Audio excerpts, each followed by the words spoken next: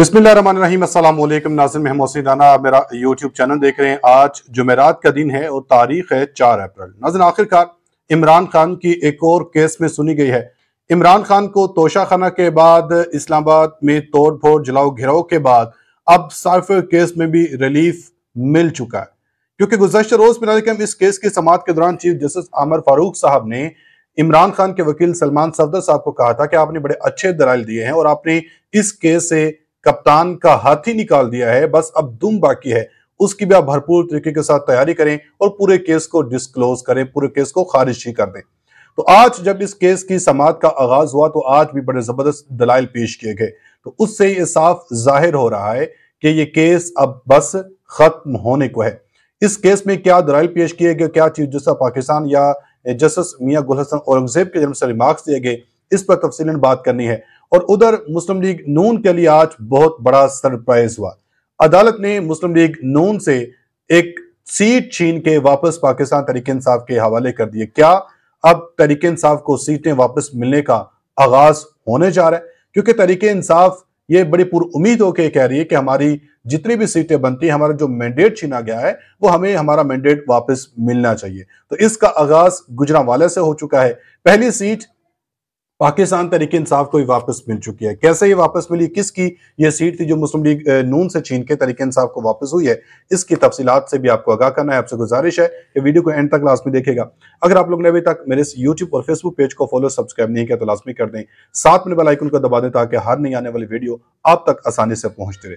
نظر خبروں کی طرف بڑھنے سے پہلے ایک چیز آپ کو بتاتا چلوں کہ اس وقت جب سے اسلام آباد ہائی کورٹ کے چھ ججز کے خط کا معاملہ ہے اس وقت کے بعد پاکستان تحریک انصاف کو ریلیف ملنے کا جو سلسلہ ہے وہ شروع ہوا چاہتا ہے۔ ایک کے بعد ایک کیس عمران خان کا ختم ہو رہا ہے اور پاکستان تحریک انصاف کے جو دیگر رہنما ہیں وہ بھی منظر عام پر آ رہے ہیں، ان کے بھی کیسز ختم ہو رہے ہیں۔ آج آزم سواتی کے خلاف بھی ان کو، ان کے خلاف جو مقدمہ درج کیا گیا تھا، ایک متنازع ٹویٹ کے حوالے سے، اس میں بھی ان کے جو درخواست ضمانت وہ منظور کر لی گئی ہے۔ پھر گزشتہ روز حماد اظہر سامنے آئے، ان کو اکیاون مقدمات میں راہدار ضمانت منظور ہے آج شیری مزاری پاکستان تحریک انصاف کو چکے چھوڑ تو چکی ہیں، مگر ان کا نام اس سیل میں تھا، اس کے باوجود یہ ان کے اوپر جو پریشرائز تھا، جو ان کو اسی طرح سختی ان کے اوپر کی جا رہی تھی آج ان کو بھی ریلیف ملا۔ ان کا نام اس سیل سے نکال دیا گیا ہے۔ اور پھر پرویز الہی، جو عمران خان کے ساتھ ڈٹ کے کھڑے ہیں، انہوں نے سختیاں جھیلیں۔ جیل کے اندر ان کے اوپر تشدد کے بھی مبینہ طور پہ واقعات سامنے آئے کہ ان کے اوپر جیل میں تشدد ہوا ہے۔ اور آج ان کو بھی ایک بڑا ریلیف ملا ہے۔ پرویز لہے کو ضمنی انتخاب میں جو الیکشن لڑنے کی باقاعدہ طور پہ اجازت مل چکی ہے۔ لاہور ہائی کورٹ کے جسٹس شاہد بلال حسن نے وکلا کے درال مکمل ہونے کے بعد محفوظ فیصلہ سنایا اور عدالت نے ٹربیونل کا فیصلہ برقرار رکھا ہے کہ پرویز الہی اب الیکشن لڑ سکیں گے۔ تو ادھر پاکستان تحریک انصاف کے لیے بھی نظر خوشخبریاں ہیں۔ کیونکہ تحریک انصاف سے جس طرح عمر ایوب نے کہا کہ چیف الیکشن کمیشنر کو ہدایت جاری کی گئی کہ مزید تحریک انصاف کی سیٹیں چھین کے مسلم لیگ نون کے حوالے کی جائے۔ تو اس کا آغاز گجرا والا سے ہوا تھا۔ جو گجرا والا سے پاکستان تحریک انصاف کے رہنما، پاکستان تحریک انصاف کے کینڈیڈیٹ بلال اجاز چوہدری کو دوبارہ گنتی میں آٹھ ہزار ووٹوں سے ہرا دیا گیا تھا اور مسلم لیگ نون کے ازر قیوم نعرہ کو کامیاب قرار دیا تھا۔ مگر آج پاکستان تحریک انصاف کی جیت ہوئی ہے، عمران خان کی جیت ہوئی ہے۔ آج چونکہ یہ دوبارہ گنتی میں جو کامیاب نون لیگی امیدوار تھے ازر قیوم، ان کی کامیابی کا نوٹیفیکیشن معطل کر دیا گیا ہے۔ یہ ناظرکرام آج عدالت کی جناب سے بڑا زبردست فیصلہ سنایا ہے۔ ہوا کچھ یوں ہے کہ قومی اسمبلی کے حلقہ این اے اکیاسی سے نون لیگ ازر قیوم نعرہ کو دوبارہ گنتی میں کامیاب قرار دینے کا فیصلہ جو پاکستان تحریک انصاف کے حمایت یافتہ بلال اجاز چودھری نے اس فیصلے کو چیلنج کیا تھا اور لاہور ہائی کورٹ کے جسٹس شاہد کریم نے بلال اجاز چودھری کے درخواست کے اوپر آج سماعت کی تھی۔ تو درخواست میں موقف اپنایا گیا کہ بلال اجاز چودھری آٹھ ہزار ووٹوں سے کامیاب قرار پائے تھے۔ الیکشن کمیشن نے دوبارہ گنتی میں ازر قیوم کے نعرہ کو کامیاب قرار دیا۔ دوبارہ گنتی پر درخواست گزار کا۔ ڈھائی ہزار ووٹ کم کر دیا گیا۔ عدالت نون لیگی امیدوار ازم قیوم نعرہ کی کامیابی کا نوٹیفیکیشن معطل کرے۔ بعد ازاں عدالت نے فریقین کے دلال سننے کے بعد این اے اکیاسی گجروالا سے نون لیگ کے امیدوار ازر قیوم نارا کی کامیابی کا نوٹیفیکیشن معطل کر دیا کیونکہ یہاں سے پاکستان طریق انصاف کے جو رہنما ہیں اجاز بلال اجاز چودھری، انہوں نے حلف بھی اٹھا لیا تھا۔ اس کے بعد دوبارہ گنتی میں ان کو ہرایا گیا اور مسلم لیگ نون کے امیدوار امیدوار کو جتوایا گیا۔ جو اب یہ سیٹ بھی پاکستان تحریک انصاف کو واپس مل چکی ہے۔ اس تو اس طرح اب ایک ایک کر کے تحریک انصاف کو سیٹیں ملنے کا جو سلسلہ ہے، وہ شروع ہونے لگ پڑا ہے۔ ادھر سائفر کیس سے بھی ناظرکم آج سماعت ہوئی۔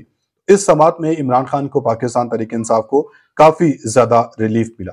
گزشتہ روز کی سماعت کے دوران بھی اسلام آباد ہائی کورٹ کے جو چیف جسٹس ہیں عمر فاروق صاحب، انہوں نے یہ کہا تھا کہ سائفر کیس میں بانی پی ٹی اور شاہ محمد قریشی نے کچھ ڈسکلوز نہیں کیا ہے۔ اب ہاتھی نکل چکا ہے، بس دوم باقی ہے۔ اس کے پر سلمان صفدر کو کہا تھا کہ آپ اس کی تیاری کر کے آئیے گا۔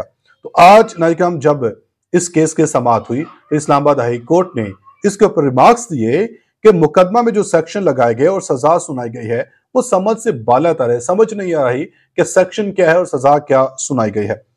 چیف جسٹس عامر فاروق نے کہا کہ ون سی پر سزا غفلت کی تو بنتی ہی نہیں۔ یہ سیول کیس ہے، اگر ایک سال سزا بھی ہو تو بھی واضح ہونا چاہیے کہ آخر سزا کس بنیاد کے اوپر دی گئی ہے۔ بلسٹر سلمان صفدہ نے سائفر کیس میں دسویں دن دلائل کا آغاز کیا۔ تو اس میں نائکرام انہوں نے کہا کہ بحثت وکیل ذمہ داری ہوگی کہ ہر پہلو کے آپ کے سامنے میں رکھوں۔ جب آپ رمضان میں کام کر رہے ہوتے ہیں تو بندہ تھوڑا تھک جاتا ہے، میری گزارش ہوگی کہ کسی ایک پارٹی کو عید سے پہلے عیدی ملنا چاہیے۔ یعنی کہ پاکستان تحریک انصاف نے موقف اختیار کیا کہ کسی ایک فریق کو تو آپ اس کیس سے فارغ کریں یعنی کہ ان کو عیدی دے دیں، کیونکہ اب یہ کیس سرے سے ختم ہوتا ہوا صاف طور پہ دکھائی دے رہا ہے۔ چیف جسٹس نے کہا کہ ایسی کوئی بات نہیں، ہم نے تمام پروسیجر کے ساتھ چل کر دیکھنا ہے۔ بعد ازاں بریسر سلمان صاحب نے ایک سائفر کیس میں سزا معطلی کی استدا کر دی، جس پر چیف جسٹس عمر فاروق نے ریمارکس دیے کہ ابھی سزا معطل نہیں کرنا۔ ابھی سزا معطل کیا کرنی ہے؟ ابھی تو مرکزی اپیلوں پر فیصلہ کرنا ہے۔ سلمان صفدہ نے پھر عدالت کو آگاہ کیا کہ آج میں اپنے دلائل کس وار تقریباً پندرہ منٹ میں ختم کر دوں گا۔ اس اس کے بعد انہوں نے کہا کہ ایک دستاویز کے حوالے سے بات ہو رہی ہے، کیونکہ گزشتہ روز بھی انہوں نے کہا کہ عمران خان نے سائفر کی کاپی گم کی ہے۔ انہوں نے کہا کہ مگر وہ دستاویز فائل میں ہی موجود نہیں۔ ایک میرے پاس الزام یہ آیا کہ سائفر کو توڑ مروڑ کو پیش کیا اور واپس بھی نہیں کیا۔ اور ایک اور الزام ہے کہ آفیشل سیکرٹ ایکٹ کو پبلک کیا۔ الزام یہ بھی ہے کہ سائفر پبلک کرنے سے سیکیورٹی سسٹم کو نقصان پہنچایا گیا۔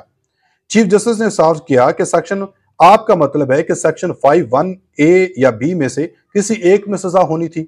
سلمان صفدہ نے بتایا کہ سوال یہ ہے کہ کون سے شواہد کا سہارا لے کر سزا سنائی گئی۔